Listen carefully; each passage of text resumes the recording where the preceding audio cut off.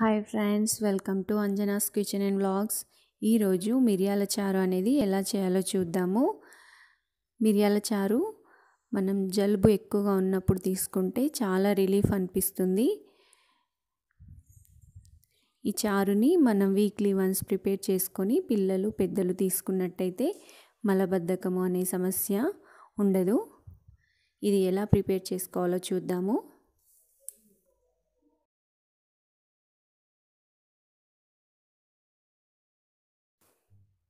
ముందుగా మనం మసాలా అనేది ప్రిపేర్ చేసుకుందాం. దానికోసం మిరియాలు బియ్యం కందిపప్పు జీలకర్ర ధనియాలు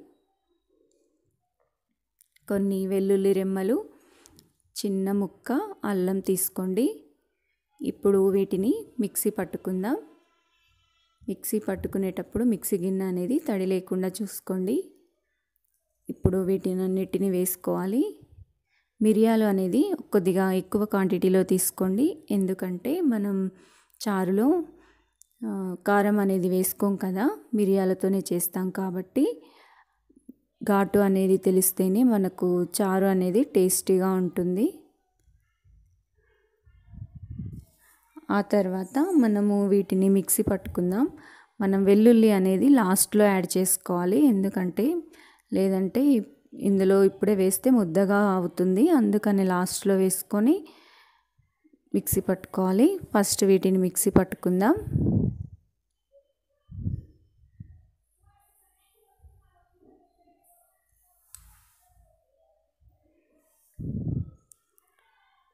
ఇప్పుడు మనం వెల్లుల్లి అల్లం వేసుకొని మరొకసారి మిక్సీ పట్టుకుందాం.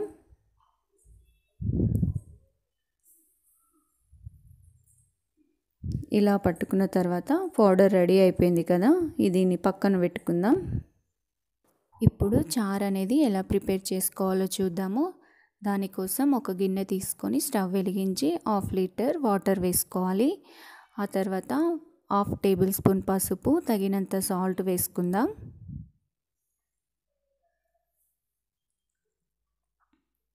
ఆ తర్వాత రెండు టమాటోలను తీసుకొని సన్నగా కట్ చేసి వేసుకోవాలి.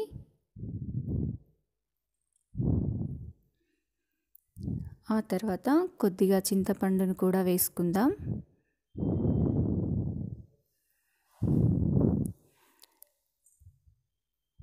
పచ్చిమిర్చి రెండు వెండుమిర్చి వేసుకోవాలి.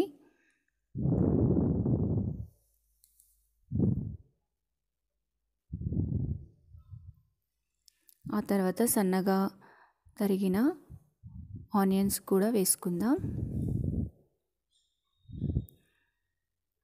ఆ తర్వాత కరివేపాకు అనేది ఇలా వేసుకోండి. ఇందులో కూడా చాలా బెనిఫిట్స్ ఉంటాయి కదా కాడతోటే వేసుకోవడం వల్ల. ఆ తర్వాత ఇలా కలుపుకొని ఒక్కసారి కలుపుకొని బాగా మరగనివ్వాలి. హాఫ్ లీటర్ వాటర్ని సగం అయ్యేంత వరకు మరగనివ్వాలి.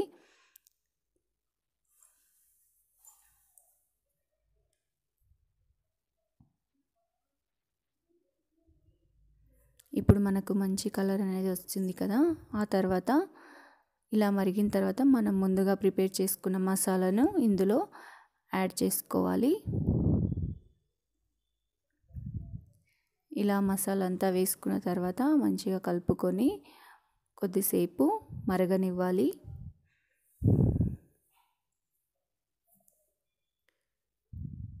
ఇప్పుడు మనకు చారు అనేది రెడీ అయిపోయింది. ఇది పక్కన ఉంచుకుందాము. స్టవ్ ఆఫ్ చేసి పక్కన ఉంచుకోవాలి. ఆ తర్వాత మనం పోపు అనేది ప్రిపేర్ చేసుకోవాలి. దానికోసం ఒక గిన్నెను తీసుకొని టూ టేబుల్ స్పూన్ ఆయిల్ వేసుకోవాలి. అందులో జీలకర్ర ఆవాలు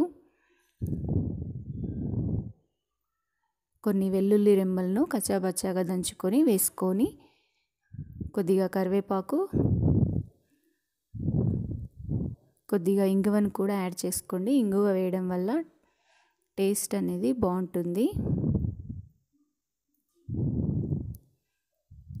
ఇలా ఫ్రై అయిన తర్వాత స్టవ్ ఆఫ్ చేసి పక్కన పెట్టుకొని ఇందులో చారు అనేది వేసుకోవాలి.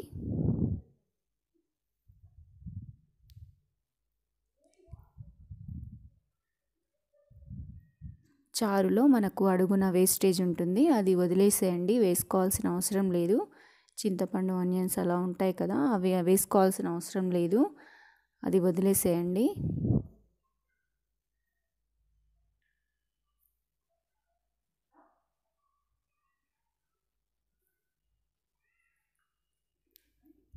ఇలా చారంతా వేసుకున్న తర్వాత ఫైనల్గా కొద్దిగా కొత్తిమీరని కూడా వేసుకోండి.